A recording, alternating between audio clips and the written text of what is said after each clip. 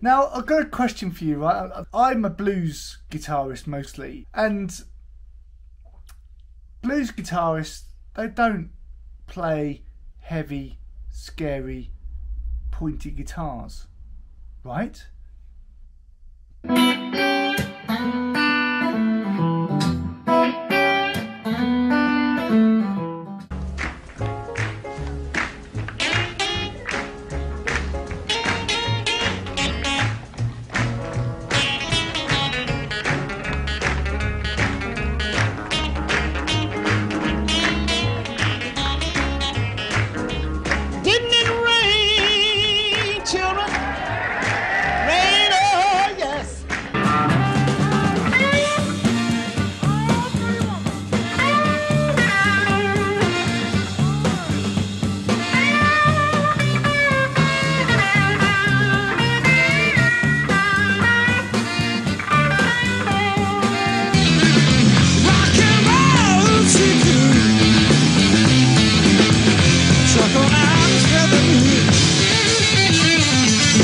Okay, so blues guitarists can indeed play scary, pointy guitars.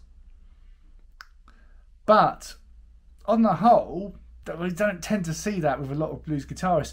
And so, actually, the aesthetic of a guitar can be quite um, important to a lot of people as to as to how they want to use. A lot of blues guitarists would prefer to use a more of a traditional feel of loo- looking guitar. So this is part of the reason why I perhaps have never really looked at Chapman guitars until more recently when one was loaned to me. And this is because of something that Rob Chapman has said about his guitars. So where Chapman kind of knocks on the door of heavy, pointy, scary guitars. So some of you will know that I've been loaned a guitar by Chapman Guitars because I said this to Dan at Chapman Guitars about how th- their guitars, in my mind, were more for the heavy rockers, the shredders, the chuggers. And he said, "Well, no, of course not. Anyone who plays guitar can play a Chapman guitar in whatever style they want." And he's absolutely right. So in this video, I'm just going to share some clips of me playing the Chapman ML1X guitar. Um, I'm writing a longer review, and you can read that. But in uh, long story short, my um, sort of conclusion with my review is that this guitar is a guitar that is is very much, as Rob has described it in the past, a Swiss Army knife of tones. Um, the the tones that you get out of um, an ML1X is it's like a Strat on steroids, um, and it's great.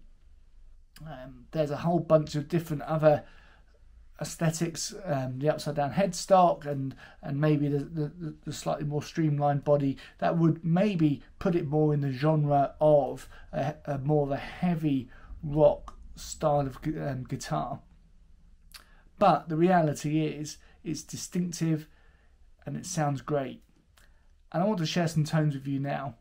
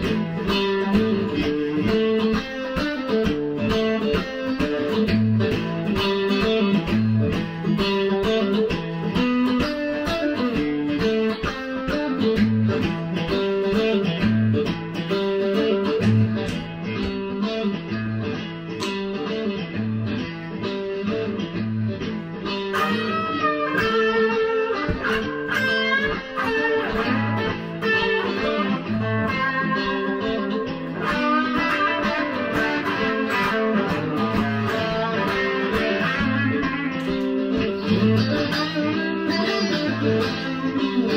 you.